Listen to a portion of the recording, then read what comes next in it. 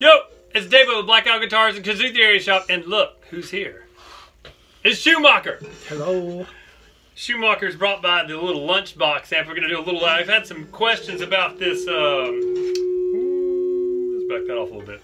I had some questions about the gas can uh, and what it sounds like. It's kind of fun. It's got the uh, you know the tremolo bridge on it. With the whammy bar, it's a spoon. A lot of fun. So we're gonna play a little tune here for you. Mark wired this up. What's this got in?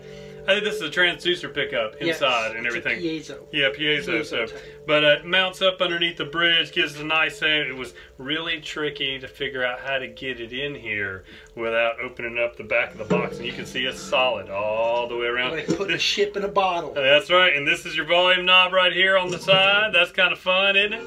We got our whammy bar. We're ready to go. Let's see what we can do.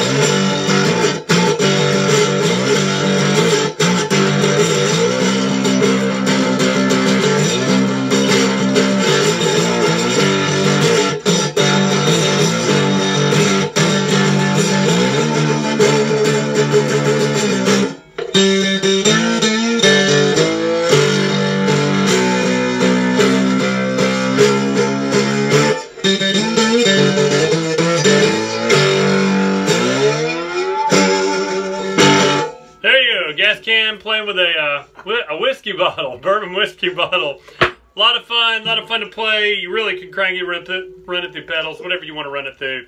Uh, a lot of fun. We're running through a, just a what, who's this? ZT. ZT It's a little, little ZT amps lunchbox. lunchbox amp. Really cool. It can make a lot of noise with it. So there you go. Check it out. If you'd like to pick one of these up, you want to see some of our other instruments, our electric kazoos, all kinds of weird stuff we got, go over to our website, www.blackowlguitars.com. You can also just go to our Etsy shop, which if you just type in Black Owl Guitars, that's one word there, it'll take you to all our stuff. You can check us out. Drop us a line, blackoutguitars at yahoo.com, or just give us a call, 252 649 5455. Thanks.